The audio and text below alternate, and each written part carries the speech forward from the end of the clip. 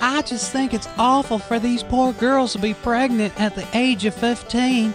I mean, they should at least have waited until they were 16, like me.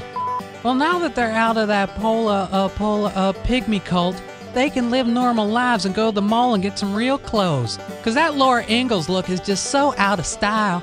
Yes, my manager was contacted about me being in a Lifetime movie of the week that they're making about those little pregnant cult girls, and I said I'd definitely read the script once I did some learning on how to actually read, which is the first thing on my list after I have the baby. Because once I pop that thing out, I'll have a lot more time for stuff like that. I don't want to be some crazy mother who has to have her baby read stories to her at night. What would people think?